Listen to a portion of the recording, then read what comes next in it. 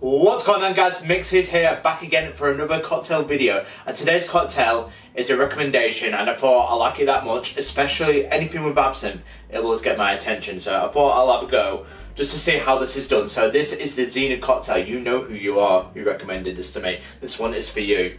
So I will do my variation, the take on the Zeena cocktail. So with the Zeena, it is named after the character Zeena Krumbein. So you're going back to the 1930s and it's so with this cocktail, it is from the 1947 noir film, which was called Nightmare Alley. So it's a character, that's what it's named after. So it's a take on the classic 1930 cocktail, which is a Blondell, which is swapping the gin and dry vermouth with the rye and sweet vermouth. So that is the difference there. So it's just another classic take on the Blondell.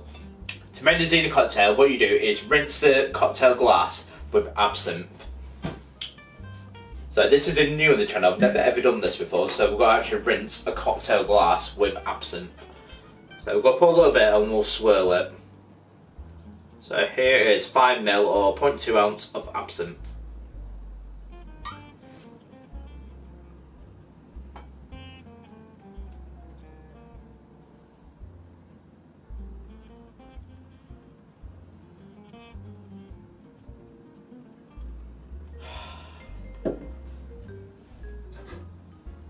By giving that a little bit of swirl, just to swirl it around the glass, it gives it that nice classic sign of the absinthe, which is that nice sweet licorice aniseed smell. So what we're going to do now is get our little cocktail glass and put some ice. So get your tin shaker. I'm putting 45 ice cubes.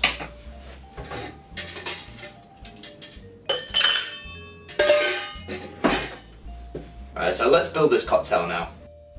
First ingredient into the tin, guys, is 60ml, 2 ounces of rye whiskey. I'm using Sazerac.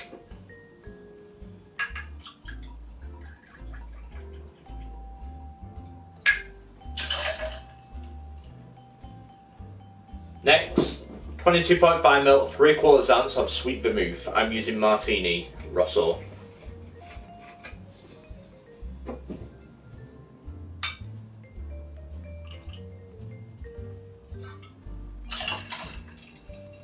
Next, 22.5ml, 3 quarters ounce of a Benedictine.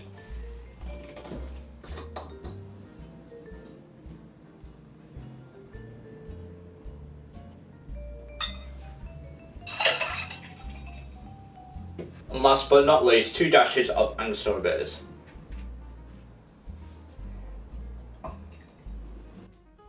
So put your lid on. Now give it a good hard shake, 8 to 10 seconds to get nice and chill.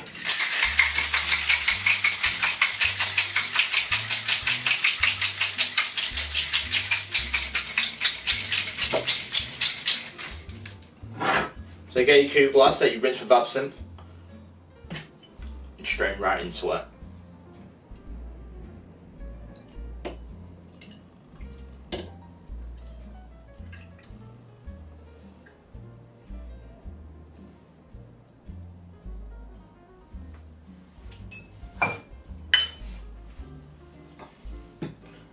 And there we go, one Zeena cocktail.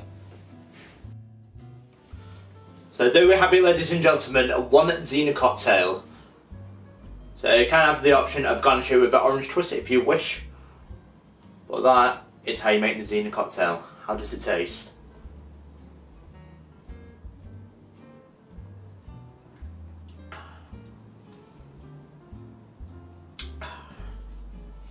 Certainly very boozy. One thing I will like is because say one thing that you can taste straight away is what makes it is a Benedictine, especially with the herbal flavour of it.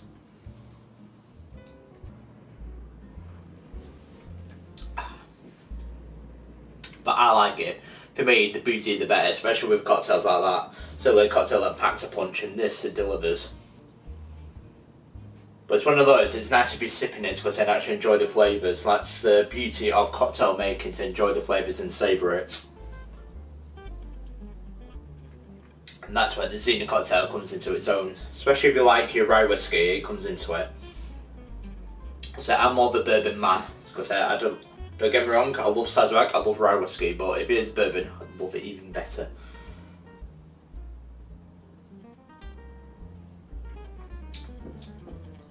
But I think it's a nice combination. I certainly like it better than gin, because with gin it's a very uh, bitter spirit, especially if you uh, make the Blondell as well.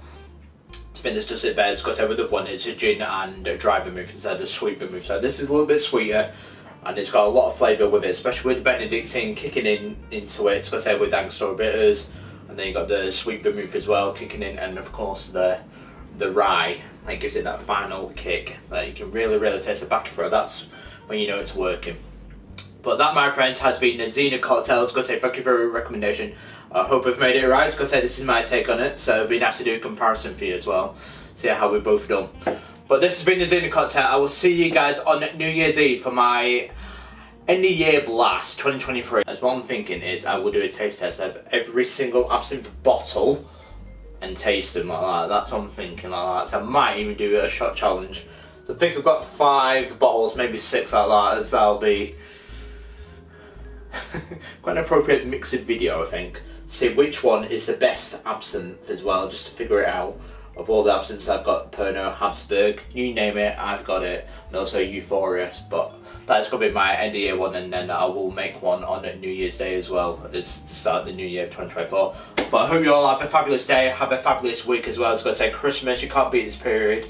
It's you lose track of time, and it's just the best time of the year. But I've been Mixed, and this has been a Zeena Cocktail, and I will see you, friends, in the next cocktail video. And uh, one thing to mention before I go, if you are new around here, don't forget to like and subscribe to Mix It as well on the road to 2.5k. So we're slowly getting there, but uh, so thank you for all your support throughout the year. So I really do appreciate it. And we'll see you guys on New Year's Eve. Cheers.